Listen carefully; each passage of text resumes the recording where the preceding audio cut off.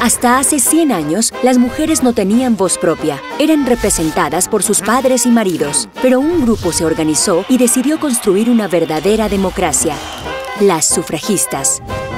En Inglaterra, durante muchos años, se intentó ganar el derecho al voto femenino de forma pacífica, pero nunca se consiguió. Fue entonces cuando nacieron las sufragistas, un movimiento de mujeres que decidió que algo debía cambiar.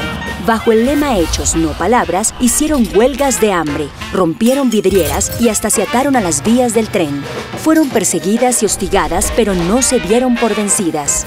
En 1928, luego de más de 20 años de lucha, finalmente consiguieron el voto femenino. Los logros de las sufragistas no solo cambiaron la vida de las mujeres inglesas, ellas fueron pioneras de una ola imparable que llevó el voto femenino a muchísimos países del mundo.